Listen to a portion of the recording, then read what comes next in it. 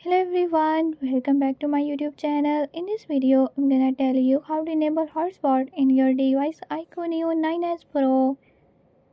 In this video, I'm going to show you how to manage hotspot settings.